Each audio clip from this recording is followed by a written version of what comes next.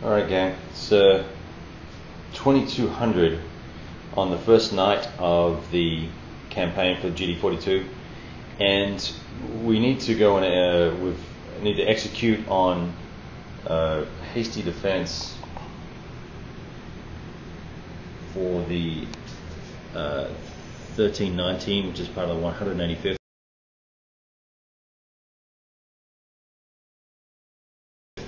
Infantry Division. Uh, these guys, uh, well, the group as a whole, the army as a whole, has failed its night operations, night attack role, and so uh, they need to halt operations, and they have the choice of uh, instituting a hasty defense, with which we will do so uh, for all of these guys down here. Up here, where we were trying to break through and capture the fords, we have in fact succeeded at doing that. There's the second fort there that we uh, are in control of. So uh, we're going to implement a hasty defense there. Uh, I, I, think I have more choices here. I can obviously do a PD, but given how close these guys are, I don't think that I'll actually get to implement that unmolested by the Germans. So I think under the hasty defense mode, I'm, I'm going to still be able to bring some of these units in since I achieved my objective. It would make sense that I would want to reinforce and support that uh, kind of defensive effort there. So I've got units here uh, that would disengage or, or, pass on through these woods and try and bolster this forward and perhaps block any attempts. Nothing I imagine anyone's going to try and do anything through here. Uh, the weather's clear, by the way, for 2200 hour. And then over here, this is a bit of a mess. But we were tasked with capturing Noviki, and we're real close because I had these guys here paralyzed. Uh, these ones were suppressed and very weakened. Uh, these guys were suppressed, and I had these chaps surrounded. So really, really disappointed that I didn't get to finish that off for the Russians there. Although we did uh, try and penetrate and uh, motivate the Germans to abandon Goncharova, which has become just a cluster for the Soviets, primarily because, uh, let me just sit out here, primarily because of the uh, the approach to the attack, the weakness of some of the units, and uh, pretty much every t- every time any one of these guys moved in, either with smoke, without smoke, in the snow, out of the snow, uh, we end up getting suppressed uh, or running away like a bunch of girls, as we did over here.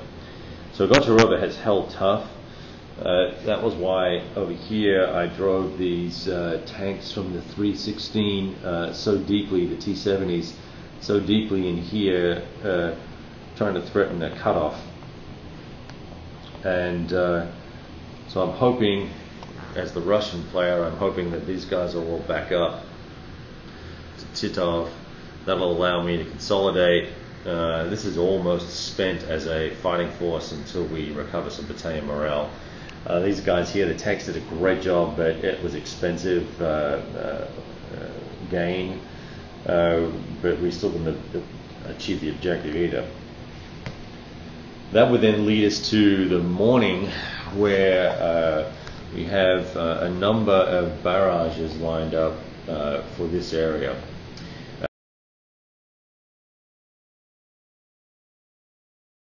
And uh, my intention is to pound the daylights out of this uh, and soften these guys up and try and get some hits on them uh, so that we can uh, have some semblance of a chance of getting through.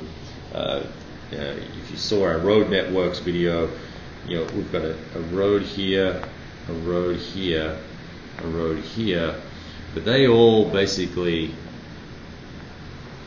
they all basically uh, junction here and they junction here at this bridge, which is already uh, heavily defended. And I can't see my camera, so hopefully you can see what I'm pointing at. But uh,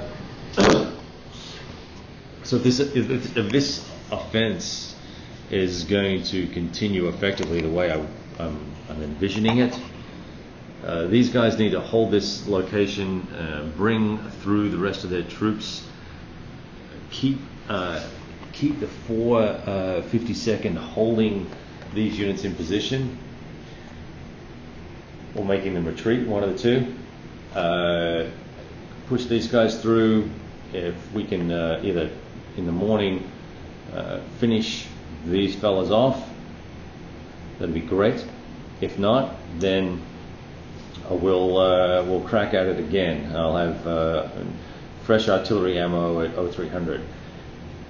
I've got five more battalions of reinforcements coming through, and I intend, as the Russian player, to deploy as many of them as possible through here.